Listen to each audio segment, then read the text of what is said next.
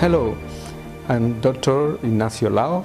I'm physician and uh, specialist in clinical genetics, and I am the medical director in Genomic Genetics International.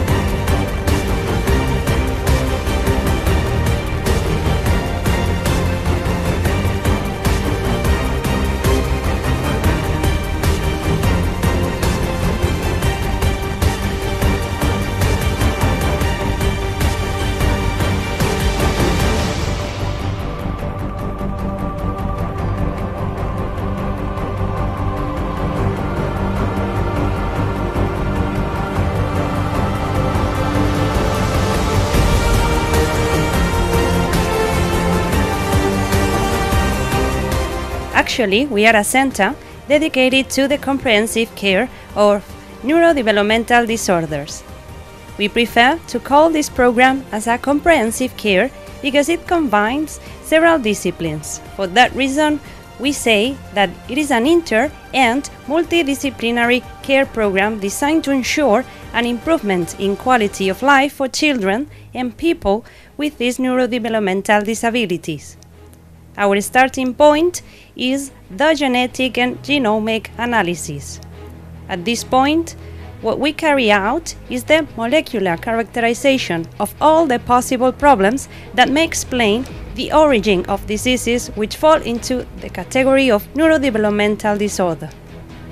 In the first place, a diagnostic approach to find out if the problem's origin lies within the genes or if we have to look for external causes related to environmental factors that sometimes may be identified but most times not. In the second place, through the genomic characterization, we might predict potential responses, particular genetic makeup of each analyzed patient and, from this knowledge, we could design more individualized support strategies, getting to know more objectively the response capability from each patient. The ability to respond to nutrients, metabolic particularities, and also the differential responsive to medications that are being taken in order to achieve more safety and effectiveness in treatments. This is the first step. From here, Knowing these weaknesses and even strengths inherent to each case, it is possible to design a support strategy of these biological potentials. Once the patients reach to better outcome, because we have worked on their weaknesses and at the level of their biological potentials, they will be more receptive to the other treatments included in the multidisciplinary protocol. Motor rehabilitation work all together to achieve better quality of life for patients. Always from the knowledge of the molecular basis from the genomic characterization. We go from this starting point, from the point that explains exactly the possible cause in each case, which is telling us which way to follow, the recovery strategies acting on the so-called phenotype, that is the ability to modulate the expressions of these genomics and in this sense we act all together being the aim of this multi and interdisciplinary center dedicated to the rehabilitation of patients with neurodevelopmental disorders.